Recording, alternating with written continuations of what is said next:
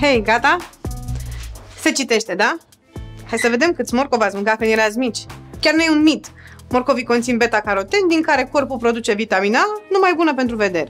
Deci, rândul de sus. Ce este... Și acum repede privirea la mine. Glumeam. Voiam să vă testez reflexele.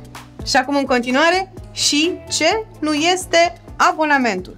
E foarte important să știm exact ce este și ce nu este abonamentul. E ca atunci când ești într-o relație și ai senzația că partenerul tău le poate face pe toate doar pentru că e partener. E mai sănătos să știm că deși e partener și e alături de noi la bine și la rău, nu le poate face pe toate și apoi să țină și pungile cu haine la cumpărături. Sau poate unor femei li se întâmplă asta, mie nu. Poate nu sunt în relația potrivită sau... Poate trebuie să mă mai gândesc. Scuze, cert că dacă știi exact cum stau lucrurile, poți să-ți cari singură sacoșile, poți să știi exact ce ai de făcut.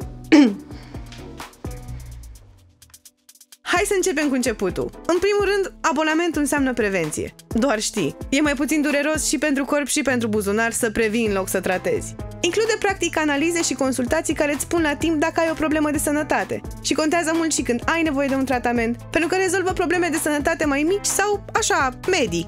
De fapt, ce zic eu mici? Ca să previi diabetul sau să depistezi la timp un cancer nu e un lucru mic. Gândiți-vă că lucrurile incluse în abonament sunt practic servicii de policlinică. Serviciile sau investigațiile făcute de urgență în camera de gardă au discount, dar nu 100%. Iar dacă ai nevoie de o investigație care se face doar în spital, verifică abonamentul și vezi dacă ai discount. Și îți dau un pont. Genul ăsta de investigații mai complexe pot fi incluse în pachetele premium, așa că poți să-ți faci un upgrade de abonament oricând. Ca să fie clar, abonamentul îți oferă acces la specialități medicale, consultații și analize gratuite sau cu discount semnificativ în funcție de pachetul pe care îl ai. Bagă un ochi în tipul tău de abonament ca să vezi exact care sunt acestea.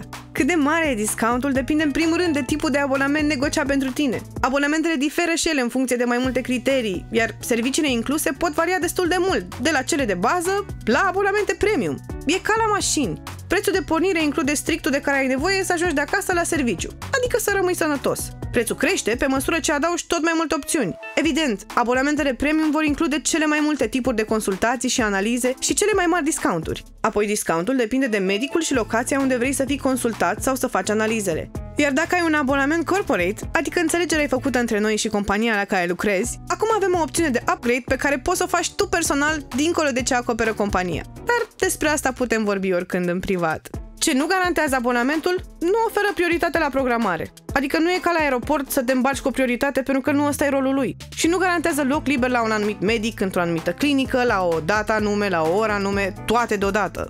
Acum trage cu ochiul la abonamentul pe care îl ai.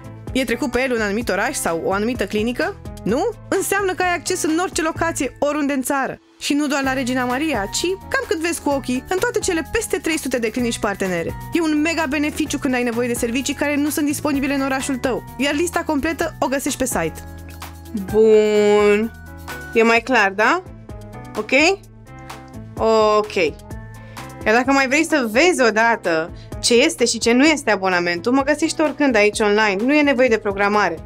Apropo de asta, în afară de urgențe, tot începe cu o programare, chiar și analizele incluse în abonament. Putem să vorbim mai pe larg despre asta, apasă tasta 2.